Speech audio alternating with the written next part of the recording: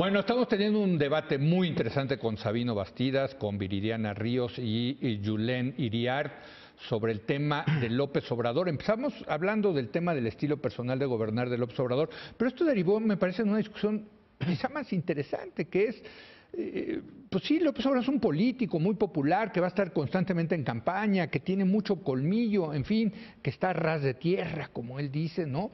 Pero, pero también necesita tecnocracia, también necesita orden, eh, programas, políticas públicas. Y ahí es donde quizás Julen dijo, no lo estoy acabando de ver, ¿no? Si, Para citarte correctamente, ¿no? Aunque a ella incluso le, anima el, e, este proyecto, pero sí hay un tema de, a ver, pues ahora aterrízalo a la realidad, Sabino. Es que todo, mira, hay que verlo, hay que verlo también en el contexto de las alternancias y las transiciones democráticas. Todas las transiciones a la democracia eh, eh, tienen como eh, característica que llega una clase política que no tuvo experiencia de gobierno, pues estaban en la calle, estaban en la oposición. O sea, decir, pedirle a Václav Havel, este, que, que encabeza la transición a la democracia checoslovaquia, pedirle que se convierta en un tecnócrata, un experto en gobierno. Pues ¿de dónde? Si el señor nunca había estado en el ejercicio de gobierno. Es un líder social, es un líder producto de una coyuntura, en una revolución, en un país dado. Y esto se puede multiplicar desde el ex Valesa y muchos otros actores. Oye, pero qué bueno que mencionas eso. ¿eh? Eso no significa... Qué bueno que mencionas a, a, a, Havel. Porque Havel, que yo lo admiro profundamente y, lo he escrito sobre eso, pero a la hora de gobernar se le fue Eslovaquia, o sea, se separó la República Checa de Eslovaquia, no tuvieron los resultados económicos deseados, en fin. Pero si hay un tema... Pero si había algo importante en ese momento era cómo conservar la gobernabilidad de un país, europeo en esa coyuntura. Eso No era un asunto menor, o sea, el, tener que ceder la República Checa frente a Eslovaquia tiene toda una, una genealogía, una historia, una fusión artificial o sea, eh, la gobernabilidad, la sabiduría que tuvo, ¿qué tienen estos líderes en un momento dado sustituyendo a la tecnocracia? Eso no significa que no tengas expertos y, hay que, y, yo creo que México tiene que tener profesionales de la burocracia, de la economía, de muchos otros temas que van a participar. No se trata de tirar ese expertise. Pero subordinados al poder político. Pero ¿qué tiene el poder político en este momento que no tuvo en estos 40 años? Yo, yo creo que hay un componente ético de reivindicación de cierta forma de hacer política política, que es esta idea de el político austero que se sube al avión normal, eh, un, ciudadano de la calle que de pronto es presidente y después deja de serlo, era algo que estábamos reclamando. Segundo, un componente de honestidad, de decir no quiero llegar a un cargo público para seguir en el poder o para hacerme millonario. Nos hacía falta. Un componente histórico. Teníamos mucho tiempo desdeñando la historia de este país y tener un hombre que venga y diga y nos, me voy a conectar con la historia no es un asunto menor. Puede, puede esta no ser la cuarta transformación, pero rescatar cierta idea de liderazgo, historia, me parece sano. Y eso es lo que mucha gente vio y votó por ese proyecto. Totalmente Hay que dotarlo de contenidos, estoy de acuerdo. Totalmente de acuerdo, porque tiene que llegar. ¿En qué momento López Obrador se ha peleado con los contenidos? No, no, totalmente de acuerdo. Es un liderazgo social. ¿Quién tiene en la panza del movimiento? Pues líderes sociales. Totalmente de acuerdo, pero va a llegar el momento. va a llegar el momento en que la gente diga, por ejemplo, en el tema de inseguridad, a ver, queremos menos muertos, queremos más seguridad. O sea, resultados. Resultados. Julen. Sí, bueno, este, lo que decía un poco en la intervención anterior, como pasar del eslogan a, los contenidos. El problema que yo veo, no quiero ser como tan negativa, pero en, esta, en este tiempo, desde que ganó la elección ahora, varios de esos eslogans, incluso sin contenido, se han ido desdibujando. Por ejemplo, el, el de la amnistía. Empezó muy fuerte, vamos a hacer la amnistía, hagamos estos foros. En los foros se dan cuenta que la gente pide otra cosa.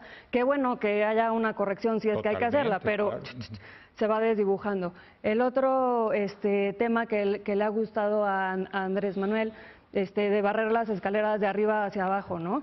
Este, y ayer Morena le da al, al, gobernador de Chiapas la licencia. O sea, como ¿Qué tan claro, qué tan lejos vamos a llegar con estos eslogans si no hay como más políticas, este, declaraciones, programas, etcétera? Como un poquito, pues sí, más contenidos y más, no sé, como hacer que sean cumplibles o hacerlos cumplir. Pero creo que lo que lo que veo de tu postura es muy interesante, de que la, López Obrador logró ilusionar a mucha gente y creo que tu preocupación es que el tamaño de esa ilusión pueda ser también la desilusión.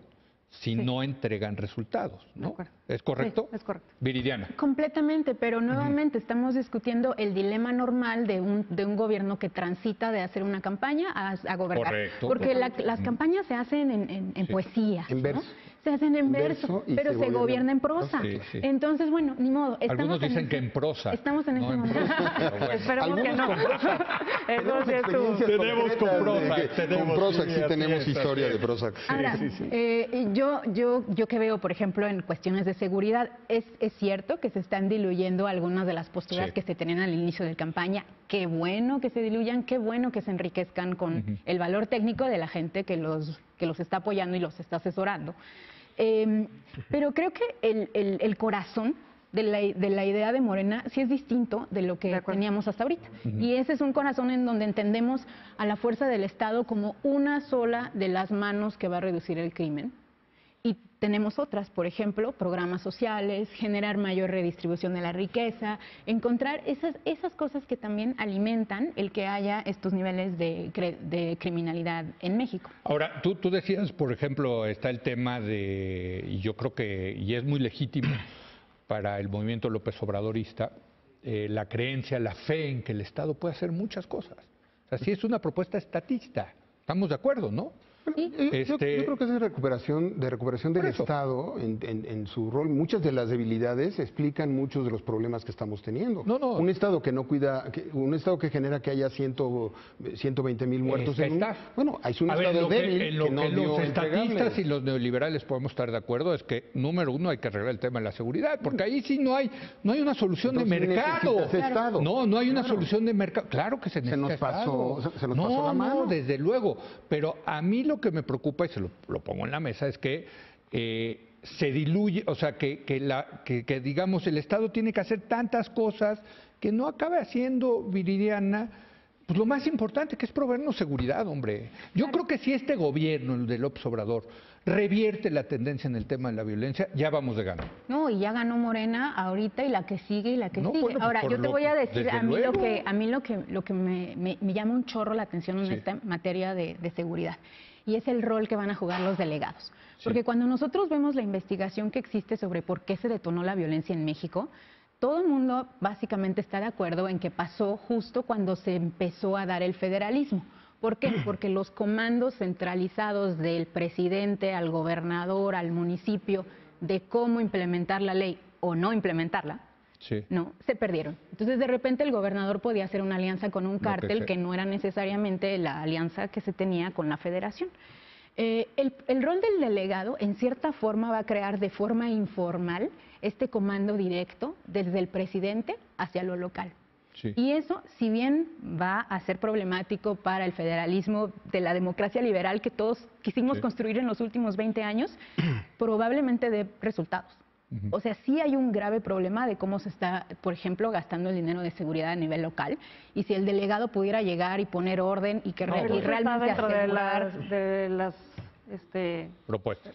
No, de, de las cosas que puede hacer un delegado. Pues, pues sí, porque él, va a recibir los fondos federales que se tienen que utilizar para las policías, para mejorar la profesionalización, Pero, pero la respuesta a tu pregunta es que no queda claro. Pero la verdad, no, porque no, todavía no, no, sabemos no, realmente cuál va a ser el marco jurídico. No, no. Ya me tengo que ir, oigan, yo encantado de quedarme a platicar con ustedes. platicando, este, de verdad es un privilegio debatir con ustedes. Julen, gracias por Muchas venir. gracias. Viridiana, muchas Muchas gracias. Leo, es un placer. Sabino, Muchas gracias la gracias. Muchas gracias a usted por habernos acompañado. Mañana es viernes, nuestra edición de fin de semana.